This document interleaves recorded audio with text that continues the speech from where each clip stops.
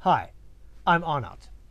In this lesson, which forms part of our series of lessons on data handling, I want to revisit the data handling cycle, which you've been studying over the last many years. Throughout this year, I've made the point that we study mathematics in order to make sense of the world in which we live. We look for patterns so that we can make predictions.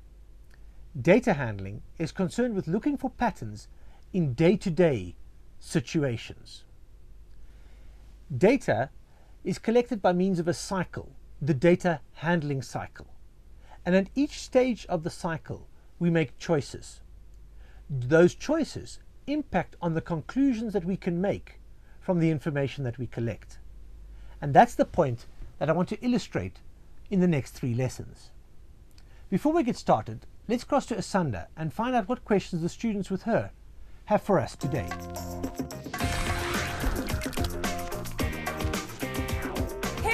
Today we're at the Learning Channel Studios in Auckland Park and I am so excited to be here. What we've done is taken three of the best students at the five top schools we've been to, invited them here and we are ready to work. There's so much work to be done, I'm so excited and hey, it's time to meet the guys. Benoni High School, Westridge High School, RW Frick High School, Princess High School, and Florida Park. Guys, we're back and today we're going to be dealing with data handling and unfortunately it's our last study group session with the guys from RW Frick. But hey, we're not being sad, we're not focusing on the goodbyes, it's all about the work, right? No, it's not. I'm going to miss you guys. No, it's hard to say goodbye. I understand. Did you have fun though? yes, I did have fun. You see, that's all I want to hear. Did you learn a lot? Uh, yes. You did. You Yes. did. Okay, so hey, I'm expecting great marks from you in maths. Definitely you are. That's what you're gonna see.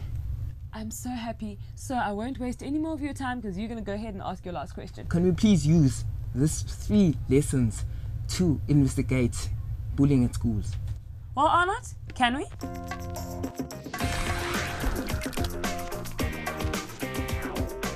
Now that is an excellent idea. Why don't we do just that? Before we get started, let's link what we're doing to the curriculum. Data handling, more formally statistics, is the branch of mathematics concerned with collecting, organizing, summarizing, representing, and even misrepresenting data so that we can analyze it and draw conclusions or make predictions. Finally, the field also deals with probability our attempts to express in numbers the likelihood of a particular outcome of an event. In this lesson and the two lessons that follow, I want to look at each of the stages of the data handling cycle and show how the choices we make at each stage impact on the final conclusions we can draw. The data handling cycle is a well defined sequence of activities that we engage in in order to answer a question, often to solve a problem. The data handling cycle can be represented by this diagram here. The point made in the diagram is that we collect data in order to resolve a problem. The first thing we do is to ask a question. Having established the question that we want to answer, we collect data. Having collected the data, the next thing that we do is organize the data, which involves organizing, summarizing, and representing the data. And finally, we interpret the data in terms of the question that we posed in the first place.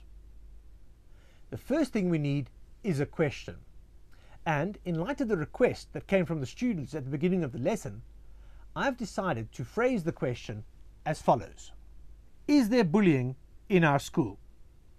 And I've decided to focus this question with two further questions. Is the bullying more significant in some grades than in others? And is it more significant among boys or girls? That leaves me with having to choose an appropriate sample. When conducting research such as this, we're left with two choices. Either we involve all of the students in the school, in which case we're involved with what's called a census, or we select a sample. We involve just some of the students in the school. Now, this introduces three key ideas. The first is a population. We define a population as the collection of all the items about which we want to know something. And then we have the words census and sampling. A census involves collecting information about every member of a given population. And because this is often impractical, we resort to sampling, where sampling involves selecting a part of a population with the purpose of making conclusions about the whole population. In order to be able to make conclusions about the whole population based on the characteristics of the sample, it's very important that the sample is what we call representative. This means that the characteristics of the sample are as similar to the characteristics of the population as is reasonably possible. What I'd like you to do is to think about our problem and to think about how we could ensure that the sample is as representative of the population as possible.